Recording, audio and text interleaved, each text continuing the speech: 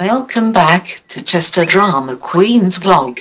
I'm Laura. I hope everyone is doing very well and I hope everyone is keeping healthy and safe. If you are new here, I have cerebral palsy and I have been posting videos about Chester FC, my favorite football team. If you want to follow this channel and make sure you do the right way, watch, leave a comment, like and follow.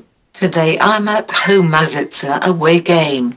Chester played against Hereford United at the Edgar Street Stadium in National League North. Chester have announced that Jamie Morgan joined Nantwich Town on a month loan. Good luck Jamie and see you soon. I just want to say very happy birthday to Jack Redshaw and I hope you are having a good day.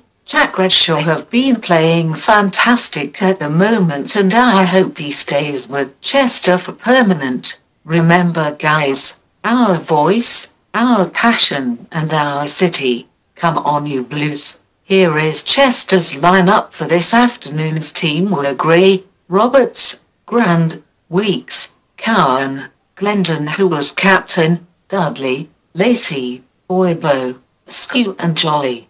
This afternoon's subs were Waring Stevenson, Clark, Williams and Redshaw. At 5 minutes, what a good chance for Chester. Jolly went to try to score a goal but the ball went over the bar. At 12 minutes Lacey got a yellow card for a foul on Hereford United player, but the referee gave Chester a free kick. That's random. At 23 minutes Jolly got fouled by Hereford United player who got a yellow card and also Grand got a yellow card. At 27 minutes Weeks went to try to score a goal from 30 yards but the ball went over the bar. At 29 minutes Weeks went to try to score a goal again but the ball went a straight to Hereford United goalkeeper. At 31 minutes Dudley got a yellow card for a trip. Chester played very well in the first half and I don't know what the referee was doing in the first half. Nil-nil in half time. At 54 minutes Oibo got a yellow card for a foul on Hereford United player. At 62 minutes it was a subs for Chester. Stevenson came on for Oibo. At 70 minutes Glendon got a yellow card for a foul on Hereford United player. At 72 minutes it was a good goal for Hereford United. 1-0 to Hereford United. At 78 minutes it was a double subs for Chester. Redshaw and Waring came on for Lacey and Askew. At 80 minutes it was so close to get a goal for Chester. Dudley went to try to pass the ball to Stevenson but the ball hit the post. At 89 minutes it should be a good goal but it was offside.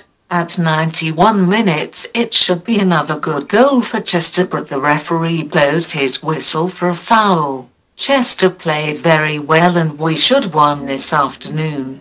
Don't think negative about Chester's performance. The final result is 1-0. I hope everyone enjoyed this video. If you want to check this channel out on Instagram and it's CDQV. If you want to share this video with your family and friends. Thank you for watching. Click on the like button. Click on the subscribe button and click on the notification bell if you don't want to miss out my videos. See you in the next video and bye guys.